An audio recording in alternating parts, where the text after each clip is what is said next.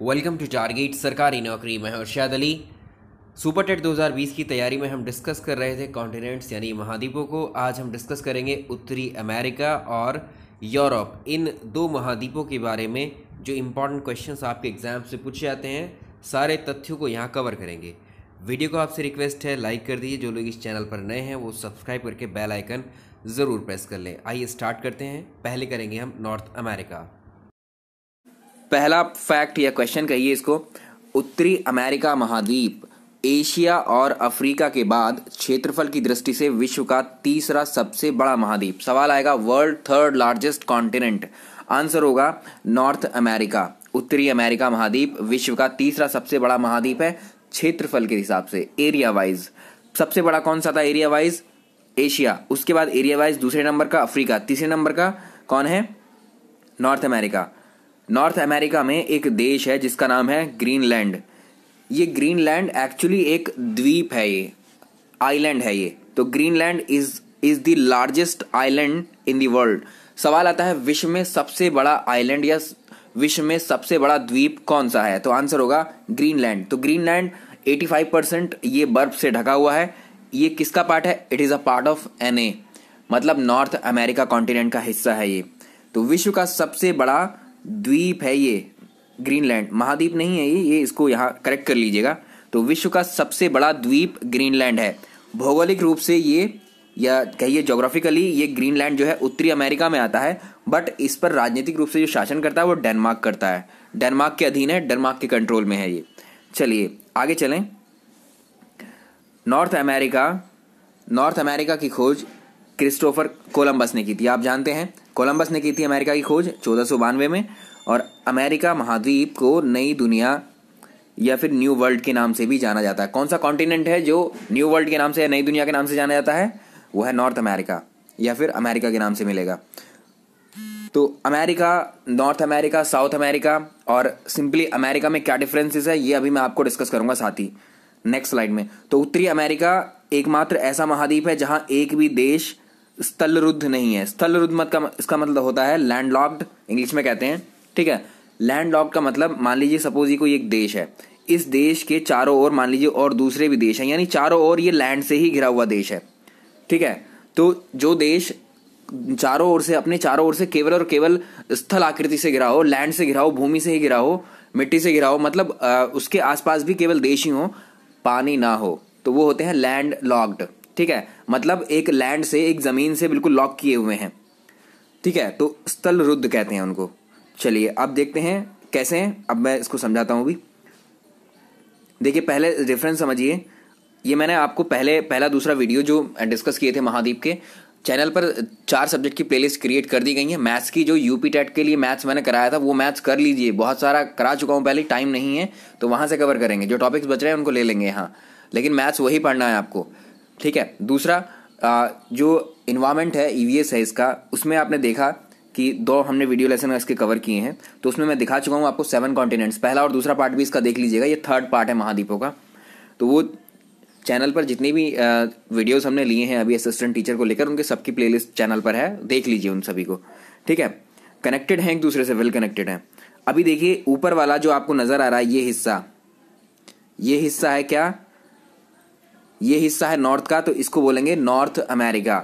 ये वाला हिस्सा है, ये है दक्षिण अमेरिका। तो ये बड़े बड़े लैंड दिख रहे हैं आपको तो ये महाद्वीप है। नॉर्थ में है और इसका नाम है अमेरिका तो ये है नॉर्थ अमेरिका कॉन्टिनेंट ये है साउथ अमेरिका कॉन्टिनेंट ठीक है, ये दक्षिणी अमेरिका महाद्वीप, उत्तरी अमेरिका महाद्वीप। अब, ये तो हो गए महाद्वीप। अब बात आती है अमेरिका क्या है? हम जो बोलते हैं अमेरिका यूएसए यूएसए का full form United States of America या फिर संयुक्त राज्य अमेरिका, या फिर यूएस बोलते हैं आप। ठीक है तो उत्तरी अमेरिका महाद्वीप में, उत्तरी अमेरिका महाद्वीप, नॉर्थ अमेरिका कॉन्टिनेंट में देखिए यहाँ पर, ये एक देश है ये, रेड कलर में जो आपको दिख रहा है ये और ये। एक देश है जिसका नाम है United States of America United States of America इसी को हम कहते हैं सिंपली अमेरिका ठीक है? या यूएस कहते हैं या यूएसए कहते हैं। ठीक है? यूनाइटेड यूएस का फुल फॉर्म होता है यूनाइटेड स्टेट्स या फिर यूएसए कहेंगे तो यूनाइटेड स्टेट्स ऑफ़ अमेरिका तो यूनाइटेड स्टेट्स क्यों है ये? ये यहाँ पर पचास देश हैं। ये यूएसए जो यूएस है, ये एक्चुअली पचास स्टेट्स का एक ग्रुप है ये। पचास स्टेट्स शामिल हैं इसमें यूएस में। तभी इसको कहा गया यूनाइटेड स्टेट यानी स्टेट्स बहुत सारे आए हैं और एक जगह इकट्ठे हो गए हैं। उन्होंने यूनाइट किया एक दूसरे को। एक होकर एक देश बनाया जिसका नाम है यूनाइटेड स्टेट्स या यूएसए या अमेरिका जिसे हम कहते हैं। ठीक है तो तीनों अलग अलग हैं, समझ गए होंगे आप। चलिए, अब यहाँ देखिए। देखिए, अब एक पनामा कैनाल आपने सुनी, बहुत इंपॉर्टेंट कैनाल है ये, पनामा नहर। तो पनामा देश भी है एक, पनामा देश में उत्तरी अमेरिका महाद्वीप और दक्षिणी अमेरिका महाद्वीप को जोड़ता है ये। सवाल आएगा, उत्तरी अमेरिका महाद्वीप या दक्षिणी अमेरिका महाद्वीप को कौन सा देश जोड़ता है? तो आंसर होगा पनामा पनामा कंट्री है, ठीक है? तो यूनाइटेड स्टेट्स ऑफ़ अमेरिका या संयुक्त राज्य अमेरिका, ठीक है? ये कहाँ है? नॉर्थ अमेरिका में है। नॉर्थ अमेरिका में याद रखेंगे यूएस तो संयुक्त यूएसए ने जो है पनामा क्षेत्र में एक पनामा नहर बनाई है, पनामा कैनाल का निर्माण किया था। तो एक मानव निर्मित एक जलमार्ग है, ये नहर है या जलयान है? यहाँ पर जो है, क्या जाते हैं? पानी के जहाज़ यहाँ से निकलते हैं। तो जो पानी में स्थित है, सॉरी, जो पनामा में स्थित है, सॉरी तो पनामा नहर जो है, प्रशांत महासागर और अटलांटिक महासागर को जोड़ती है। दोनों सवाल बनेंगे यहाँ से। एक तो उत्तरी अमेरिका, दक्षिण अमेरिका के रूप में पूछ लेगा किन दो कॉन्टिनेंट्स को जोड़ती है पनामा नहर या फिर पनामा देश। दूसरा इस तरह से पूछेगा पनामा नहर इनमें से किन दो महासागरों को जोड़ती है? प्रशांत महासागर और अटलांटिक महासागर। दोनों हैं। ठीक है तो Panama Canal is linking Pacific Ocean and Atlantic Ocean चलिए, अब देख लेते हैं कैसे। देखिए, यहाँ पर आप देख सकते हैं, ये कॉन्टिनेंट है यहाँ। ये क्या है? ये दक्षिण अमेरिका है, ये क्या है? उत्तरी अमेरिका। यहाँ पर आप देख सकते हैं, ये है पनामा ये पनामा देश है। ये एक्चुअली यहाँ से पूरा लैंड था, ये पूरा कनेक्टेड था कनेक्टेड था। बट अमेरिका ने इस ट्रेड को देखते हुए यहाँ से ये शिप्स वगैरह इधर से यहाँ को व्यापार करने के लिए इस यहाँ पर इस पनामा में जो है एक नहर बनाई थी, इसको काट कर पनामा के जो लैंड को काट कर, ठीक है? जिसे पनामा नहर कहा गया, बहुत ही फ़ेमस नहर है ये, ठीक है? इसको देखिए यहाँ पर। यहाँ से भी आप देख सकते हैं। ये देखिए। तो ये हमारा कौन सा है? अटलांटिक ओशन है। इस साइड का ये अटलांटिक ओशन है पूरा। ये कौन सा है? पैसिफिक ओशन है। तो ये पनामा जो नहर है, ये यहाँ पनामा है।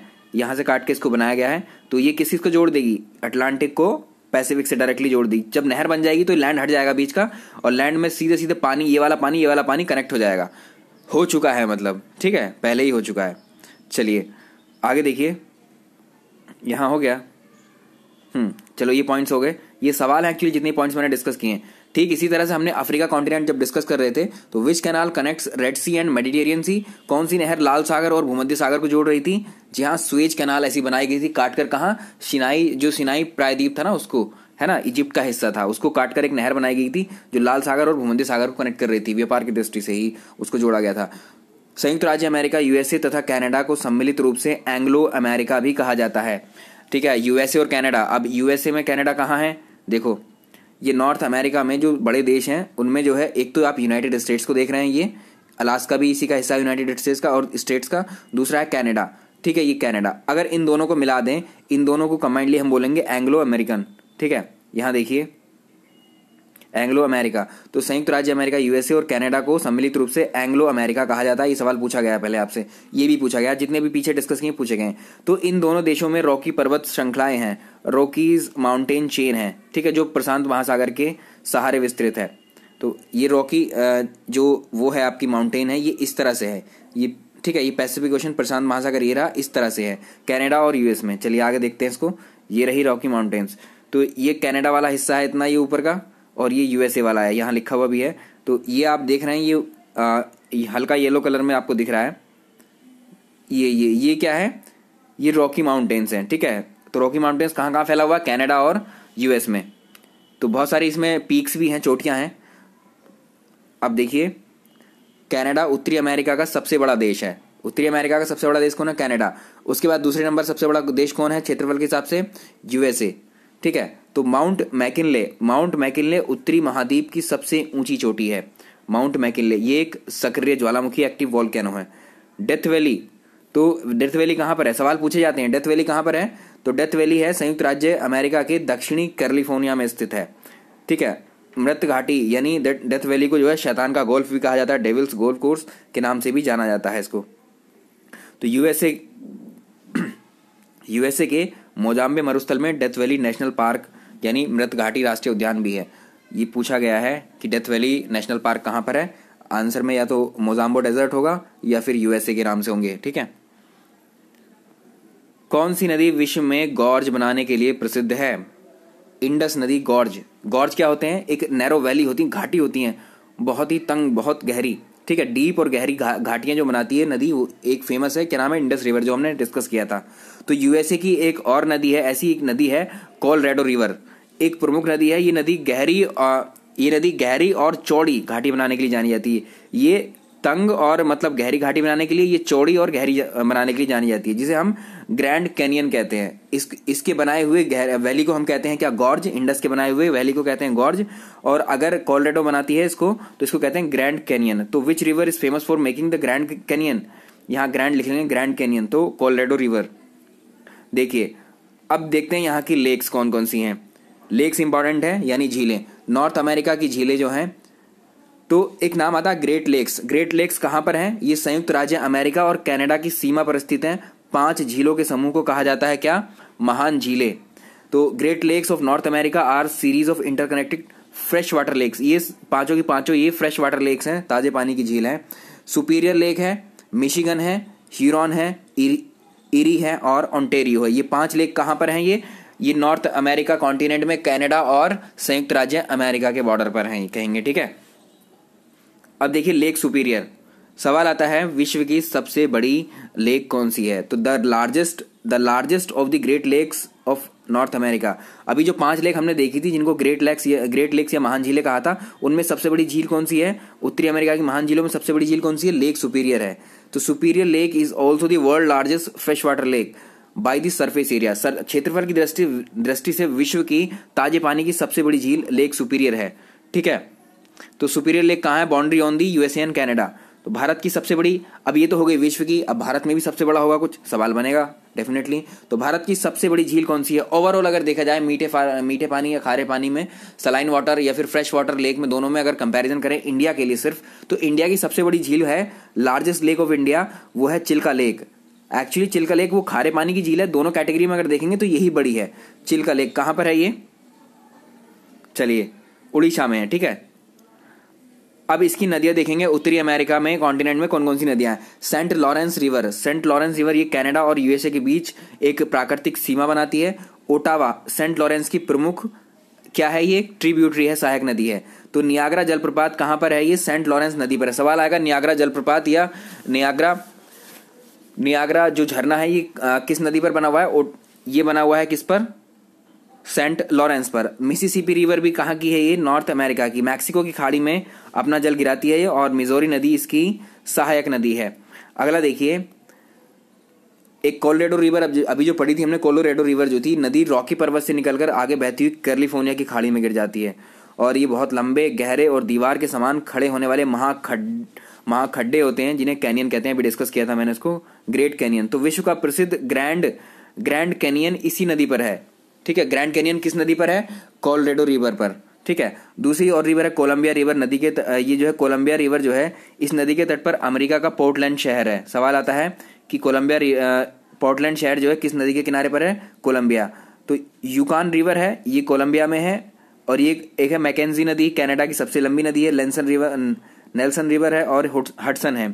ठीक है यूएसए तो ये सारी रिवर्स हैं यहाँ की। ठीक है, चलिए लेक सुपीरियर हो गया अभी। और अभी कुछ बाउंड्रीज हैं बाउंड्रीज पर भी क्वेश्चन बनते हैं आपके। थर्टी एट पैरल बाउंड्री किसके बीच में आती है?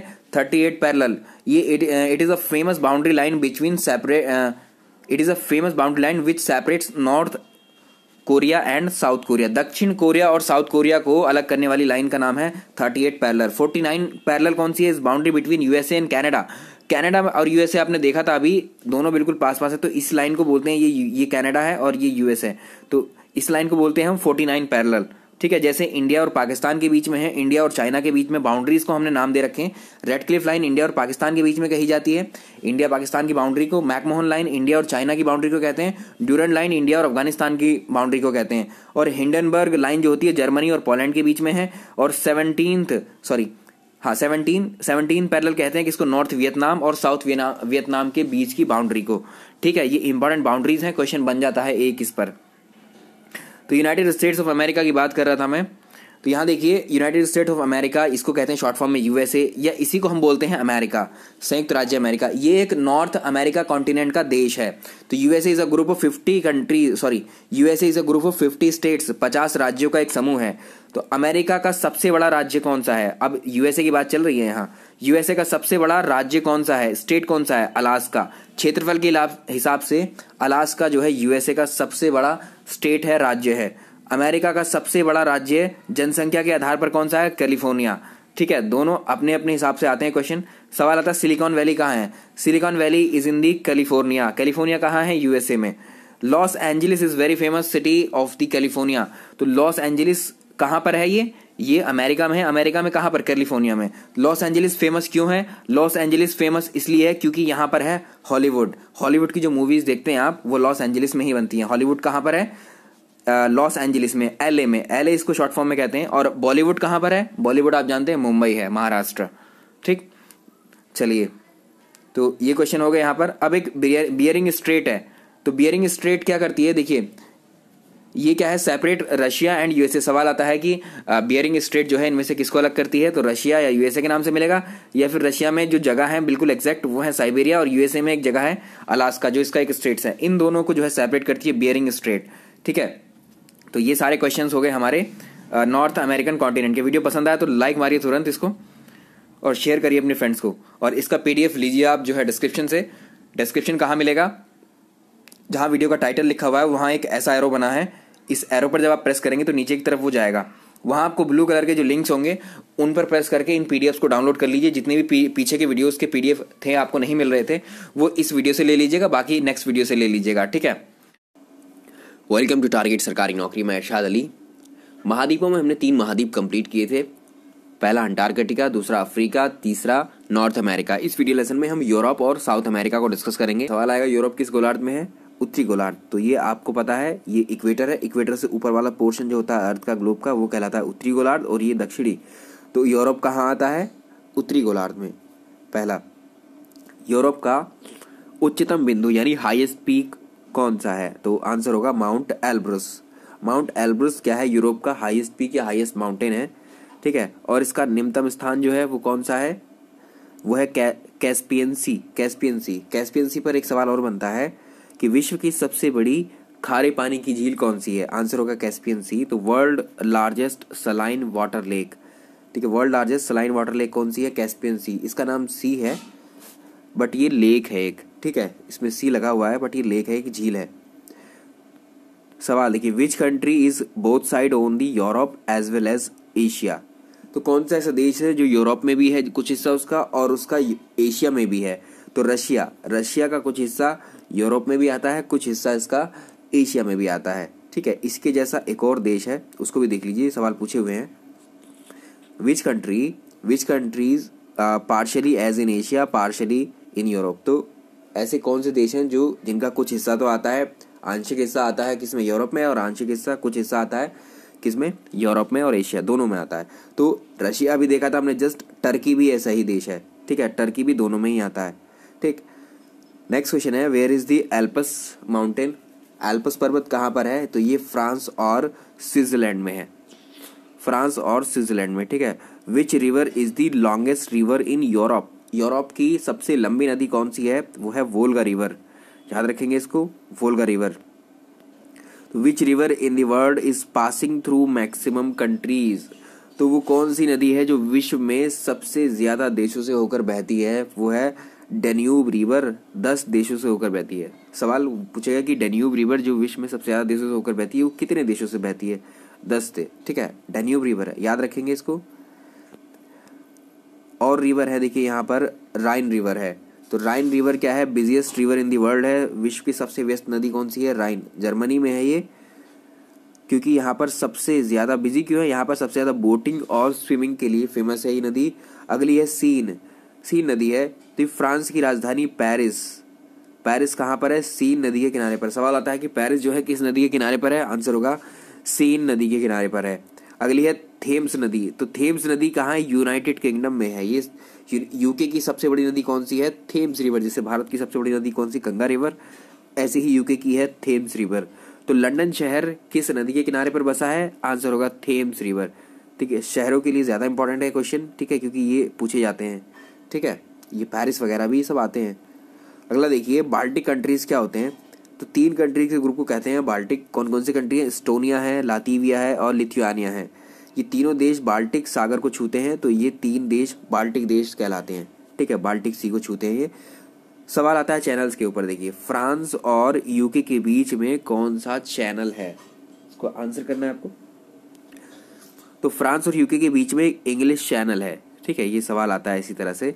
ऐसे ही अंडमान और निकोबार के बीच कितने डिग्री का चैनल है? तो अंडमान और निकोबार के बीच टेन डिग्री का चैनल है, ठीक?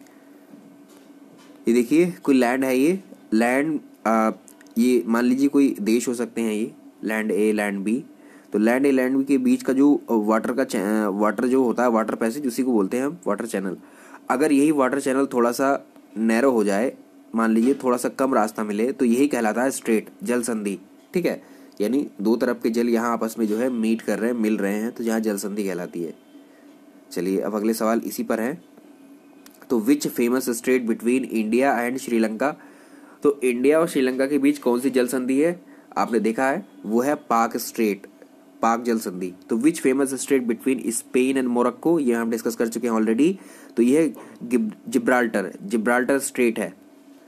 Which famous state between France and UK अभी देखा था टेन डिग्री का चैनल था उसमें। अगर ये नैरो हो जाता है कहीं पर अगर थोड़ा सा नैरो हो जाता है तो इसको बोलेंगे हम स्ट्रेट तो ये स्ट्रेट कहलाती है डोवर स्ट्रेट डोवर जल संधि। तो Dover strait is between which two countries UK और फ्रांस के बीच में है। इस तरह से पूछ सकता है दोनों क्वेश्चन साउथ अमेरिका देखिए। साउथ अमेरिका की जो लार्जेस्ट कंट्री है, वो कौन सी है? पहले नंबर पे आता है ब्राज़ील, उसके बाद में आता है अर्जेंटीना।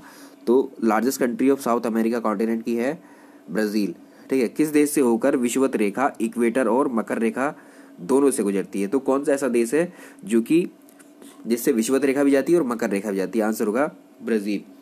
अगला सवाल देखिए। कुछ है लैंड लॉक कंट्री स्थल रुद्ध यानी इन कंट्रीज़ के चारों ओर जो है आपको लैंड ही मिलेगा। जैसे बोलीविया, लैंडलॉक कंट्री है, नेपाल भी, भूटान भी, अफ़गानिस्तान भी पराग्वे ये सारे लैंडलॉक कंट्री सवाल आएगा इनमें से कौन सा देश जो है लैंडलॉक नहीं है? तो ये पाँचों आपको याद रखने हैं, पाँच छः विश्व का सबसे ऊँचा जलप्रपात कौन सा है? वर्ल्ड हाईएस्ट वाटरफॉल कौन सा है? एंजल वाटरफॉल ये कहाँ पर है? वेनेजुएला में है। ठीक है, इसको भी याद रखेंगे इंपॉर्टेंट है।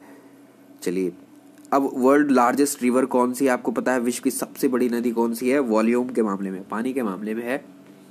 अमेजोन रिवर पहले नंबर पे आती है, दूसरे पर आती है कॉन्गो रिवर दोनों याद रखेंगे साउथ अमेरिका की नदियाँ हैं ये। World world longest mountain chain कौन सी है? विश्व में सबसे बड़ी माउंटेन चेन है एंडीज पर्वत की, और वर्ल्ड लार्जेस्ट माउंटेन चेन भी इसके नाम से आएगा तो वो भी एंडीज पर्वत। यानी विश्व की सबसे लंबी और सबसे बड़ी पर्वत श्रृंखला है एंडीज पर्वत। ये कहाँ पर है? जो कि Venezuela Colombia Ecuador Peru Bolivia Chile Argentina में है, ठीक है? तो दक्षिण अमेरिका का शीत मरुस्थल किसे कहा जाता है? ये है आपका Patagonia cold desert Patagonia cold desert ठीक है? तो टोटल आज हमने जो है तीन कॉन्टिनेंट्स को डिस्कस किया है।